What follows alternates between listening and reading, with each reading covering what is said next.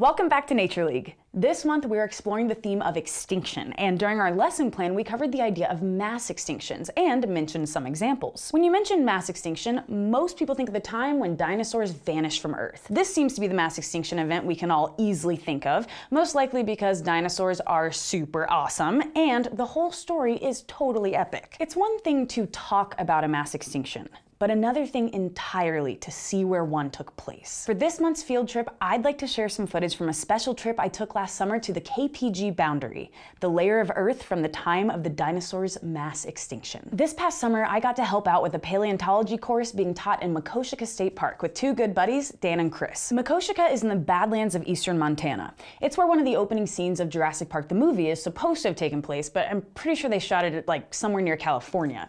Anyways, for starters, the Badlands are completely stunning, and that's even before you start taking the dinosaurs into consideration. The exposed rocks show millions of years of geological time, and during the sunset on our first night at base camp, Dan and Chris explained the geological formations visible from base camp. I, meanwhile, got footage of this incredible landscape. The summer nights in eastern Montana can be filled with thunderstorms that stretch as far as the eye can see. We happened to catch a really great lightning storm one night, and while I probably should have stayed indoors, I couldn't help but grab some footage of the skies. I wonder what the skies looked like for the dinosaurs that used to live here, and if they enjoyed these skies as much as I do. We saved a surprise for the students until later in the week. We told them we were hiking down to a location where we'd investigate rock layers. What they didn't know is that we were taking them to one of the few places on Earth where you can see and touch the layers that form the KPG boundary. Chris was excited to show the students the layers, but was not impressed by my cinematography pursuits. As we got to the end of the trail, we had the students examine the layers of rock and take notes of anything that stood out. I, meanwhile, went into turbo mode and climbed all over the rocks. When in Makoshika. I also just really like climbing things. So a little bit more about this location. The KPG boundary is a geological signature marking the end of the Cretaceous period and the beginning of the Paleogene period. It used to be called the KT boundary, an abbreviation for Cretaceous Tertiary boundary, but geologists have since messed with the naming to reflect different divisions of geological time. The end of the Cretaceous period is of note because it includes and is sometimes defined by the mass extinction that occurred approximately 66 million years ago. While geologists are pretty certain about the transition from the Cretaceous to the Paleogene, it's a different thing entirely to see it in person. Makoshika State Park in eastern Montana is one of only a few places in North America where the KPG boundary is exposed and actually accessible. While there are many places around the world where the boundary is apparent, this spot is up there in terms of total experience and ease of access. We revealed to the students that the layers we were looking at contained the KPG boundary, Surprise! After investigating the differences in sediment, color, texture, etc., we sat down to discuss the extinction event in general. The time that separates T. rex from Stegosaurus is even greater.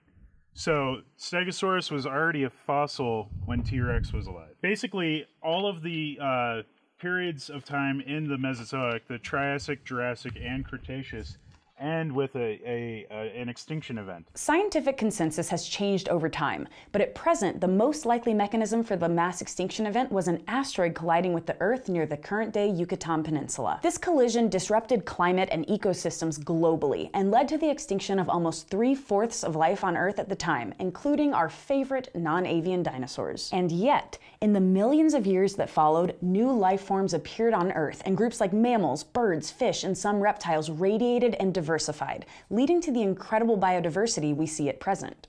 And now, a word, not from our sponsors, but from the dictionary.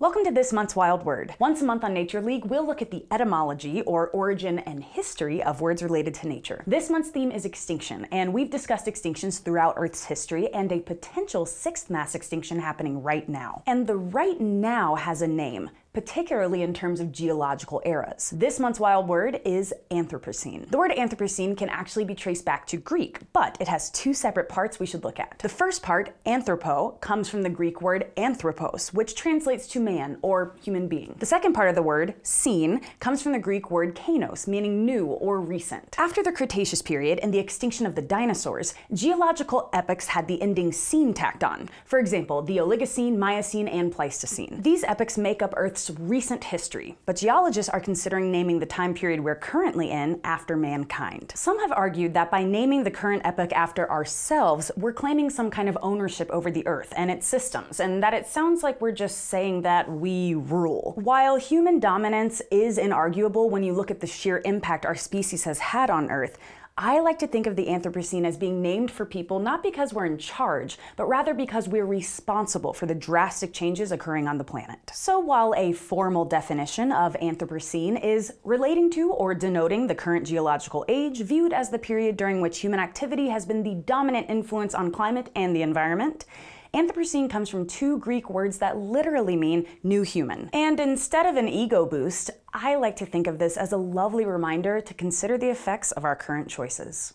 It's weird to say that one of my favorite places on Earth is this small layer of dirt in eastern Montana that harbors a beyond depressing event, but I can't help but love this place. Our day to day lives move so quickly, and it's hard to think about what I'm doing next week, much less in the timescale of millions of years. Yet when I'm here touching these pieces, I'm shaken with an overwhelming sense of humility. This layer tells the story of loss of life on a scale unimaginable, and yet, Without the loss of the species living at the end of the Cretaceous, Earth as we know it would be unrecognizable. Humans may not have ever come to exist. When I touch this layer, I'm reminded that this lethal event led in part to my own living existence. Extinction is never an easy thing to think about, and we're facing major challenges when it comes to conserving the species threatened with extinction today. By looking at a longer timescale, however, I'm hopeful that, well, life, uh, finds a way. I truly love this place, and I hope that you too were able to enjoy it. The good and the bad, the mass extinction, and the recovery of life on Earth.